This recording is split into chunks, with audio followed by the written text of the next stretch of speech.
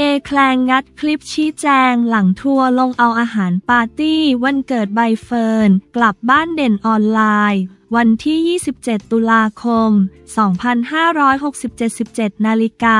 42 นาที สรุปเครื่องหมายสี่เหลี่ยม ยกเลิกปิดเทอม เอแคลร์ จือปาก งัดคลิปหลักฐานชี้แจงหลังจอดรามาทัวร์ลงติงมารยาทปมเอาอาหารปาร์ตี้วันเกิด ใบเฟิร์น พิมชนก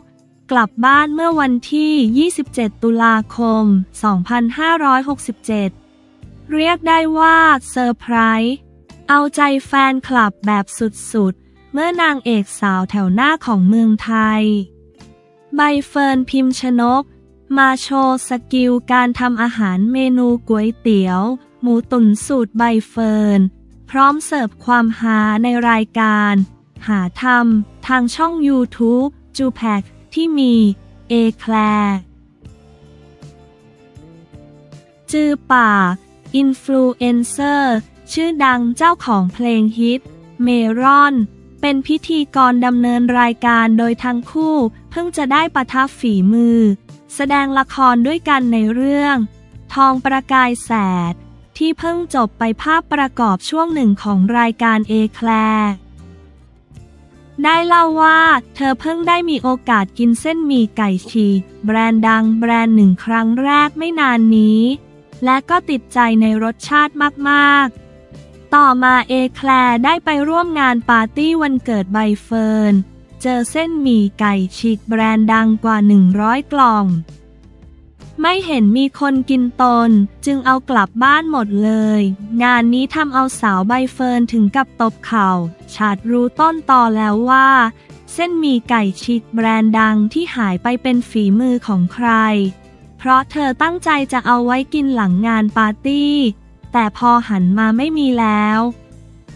ทุกคนหิวมาก จึงต้องสั่งข้าวต้มมากินแทนภาพ ประกอบกลายเป็นวินาทีสุดฮาจนชาวเน็ตรายหนึ่งได้ตัดคลิปนาทีดังกล่าว ไปลงในแพลตฟอร์ม X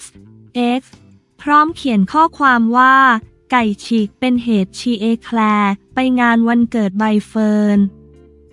แล้วเห็นไก่ฉีกเหลือเกือบร้อยกล่อง ไม่มีคนกินเลยเอากลับบ้าน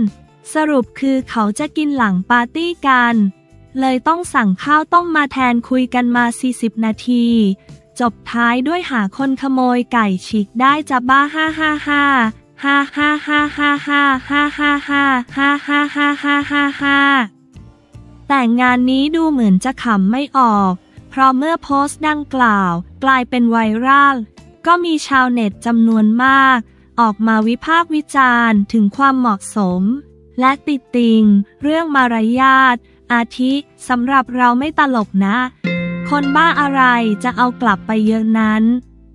ไม่ต้องถึง 100 กล่องหรอก แค่ 10ถึง20 กล่อง โดยไม่ถามก็น่าเกลียดละ ก็ไม่ต่างอะไรกับพวกแบกของงานบุญ งานกระถินกลับหรอก เคยได้ยินมิกซ์เล่าว่าไม่เคยช่วยค่าอาหารด้วย ปอลอไม่ต้องมาบอกว่าใบเฟิร์นไม่ถือสาหรอก แต่มันคือมารยาทพื้นฐานไม่น่าเอาไปร้อยกล่อง แต่ก็ควรถามเจ้าภาพงานก่อนไหมก่อน ที่จะเอาไปอะทำไมคนเราสามารถหยิบอะไรเป็นหนึ่งร้อยชิ้น กลับบ้านได้โดยไม่ขอเจ้าของก่อน งงอะ มารยาทเปล่า 55,555 ภาพประกอบขณะที่คอมเมนต์อีกส่วนไม่สนดดราม่ามองว่าเป็นการพูดเล่นกันในกลุ่มเพื่อนเท่านั้น โดยมองว่าหากทางใบเฟิร์นไม่มีปัญหา คนนอกก็ไม่ควรดราม่าแต่มิวายดูเหมือนไฟดราม่าจะร้อนแรงขึ้นเรื่อยๆ จนเอแคลร์ออกมาโค้ดทวิตดังกล่าวพร้อมระบุว่า อันนี้เขาเล่าเอาบันเทิงเน้นจำนวนให้ดูเวอร์นะ ฟังเอาฮาฮาพอค่ะ ความจริงเอากลับหนึ่งเล่าร้อยมุดฮาทั้งรายการอีกเอ็กอบมาจับสำรวจเอาท่อนนี้ เล่าตลกตลกเพอเจอร์ทั้งเทป MVP จะตายเทปนี้ เรื่องคุยงานก็ไม่ได้คุยเองค่ะ เขาเล่าเอาตลกด่ากันสนั่น 5 ล้าน5 5 5 5 5 5 5 อินเกินชีวิตจริง โกรธใครมากันวะ พร้อมกันนี้เอแคลก็งัดคลิปวิดีโอหลักฐาน พร้อมเล่าชี้แจงเรื่องราวทั้งหมดว่านี่จ้าของจริงมีแค่นี้ค่ะ นั่งกินตรงนั้นหนึ่งกล่อง กินไม่ทันหมดเดินกินต่อเพื่อขึ้นรถกลับบ้าน กินต่อบนรถอีกสองคำหมด นั่นแหละ ที่บอกว่าเอากลับค่ะ กูว่าจะดราม่ากันจริง ๆ เลยปะเล่าตลก เล่า entertain ทั้งเทปเอาจริงจังท่อนนี้เลย ดิกไม่ต้องห่วงเรื่องมารยาท เลยรู้ค่ะ อยู่เป็นอีสัน X และต่อมาเอแคลร์ก็ได้ โพสต์ข้อความว่า เครื่องหมายสี่เหลี่ยม ยกเลิกปิดเทอม งานนี้ดูเหมือนจะเป็นการเติมเชื้อเพลิงให้ดราม่าร้อนแรงขึ้นกว่าเดิม เพราะชาวเน็ตบางส่วนไม่พอใจอย่างแรงกับการเคลื่อนไหวดังกล่าว เพราะมองว่า เป็นเหมือนการแซะทัวร์ที่มาลงเป็นเพียงเด็กนักเรียนที่ไม่มีอะไรทำในช่วงปิดเทอม พร้อมกันนี้ก็ยังคงมีรถทัวร์ลงอยู่เรื่อย ๆ ถึงมารยาทและแฉวีรกรรมอื่น ๆ โดยอ้างว่าเอแคลมักจะไปทำงานสายอยู่หลายครั้งและทำงานไม่เป็นมืออาชีพท่ามกลางรถทัวร์ลงเดือดสนัน่น จนเครื่องหมายสี่เหลี่ยม ยกเลิกปิดเทอมพุ่งติดเทรนด์อย่างไรก็ดีมีชาวเน็ตบางส่วนมองว่า นี่เป็นการพูดเล่นสนุกสนาน และเป็นการ entertain ผู้ชมเท่านั้น ไม่ควรหยิบยกมาเป็นดราม่าโดยเรื่องราวนี้ จะจบลงอย่างไร เอแคลร์จะมีการออกมาชี้แจงเพิ่มเติม ต่อประเด็นดราม่าเรื่องนี้ และปมอื่นๆ ที่ถูกกล่าวอ้างหรือไม่คงต้องติดตามกันต่อไป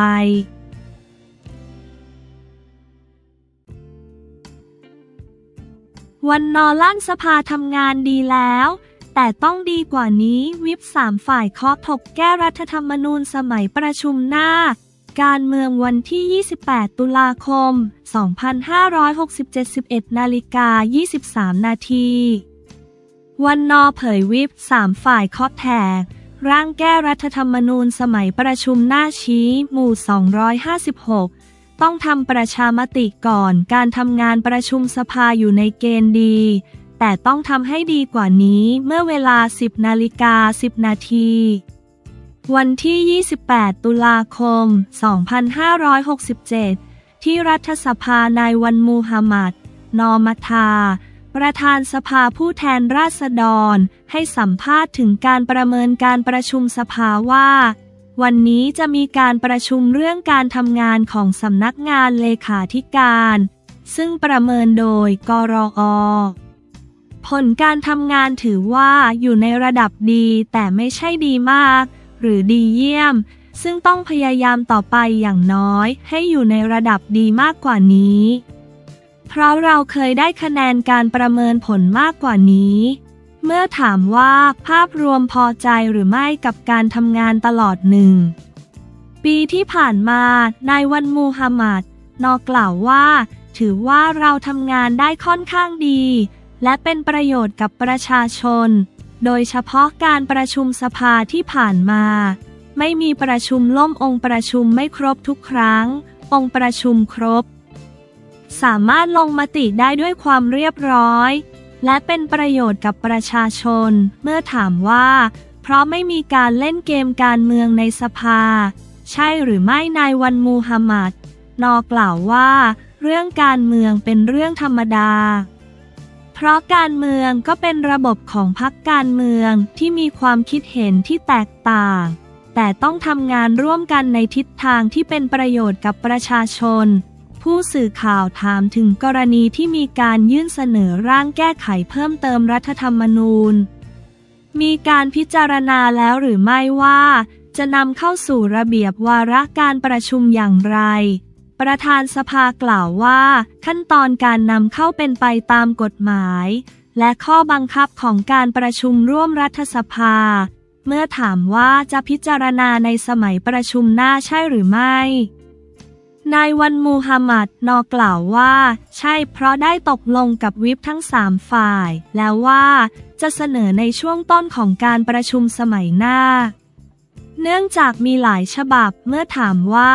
มีการพูดคุยกันหรือไม่ว่า มีความจำเป็นที่จะต้องเปิดประชุมสมัยวิสามันนายวันมูฮัมหมัดนอกล่าวว่า การประชุมสมัยวิสามันจะกำหนดได้โดยรัฐบาล หากมีความจำเป็น รัฐบาล สามารถขอเปิดประชุมสมัยสามัญได้ หรือหากสภาพิจารณาแล้วเห็นว่า มีวาระมาก และเห็นสมควรเปิดประชุมสมัยวิสามันสภาอาจเสนอให้นายกรัฐมนตรี เพื่อขอพระบรมราชองค์การขอเปิดประชุมสมัยวิสามันได้ เมื่อถามว่าการแก้ไขเพิ่มเติมรัฐธรรมนูญมาตรา 256 จะพิจารณาอย่างไร นายวันมูฮัมหมัดนอกล่าวว่า การเสนอแก้ไขรัฐธรรมนูญคงมีการเสนอหลายแบบ เพราะมีสี่ฉบับ แต่ในฐานะประธานสภา และต้องเป็นประธานในที่ประชุมจะไม่สามารถบอกได้ว่า ให้แก้ไขในมาตราใดฉบับใดจะผ่านหรือไม่ผ่านในส่วนนี้เราต้องเป็นกลาง แล้วแต่ที่ประชุมว่าสมาชิกจะเสนอและพิจารณาอย่างไร ต้องรอดูเมื่อมีการพิจารณาในสภา ต่อข้อถามว่าการแก้ไขมาตรา 256 จะต้องทำประชามติก่อน หรือไม่ นายวันมูฮัมหมัด นอกล่าวว่า การแก้ไขมาตรา 256 ต้องทำประชามติอยู่แล้ว เพราะเป็นการแก้ไขที่กระทบต่อสิทธิ และหน้าที่ของสมาชิกรัฐสภา และอาจรวมถึงองค์กรอิสระ ซึ่งต้องทำประชามติก่อน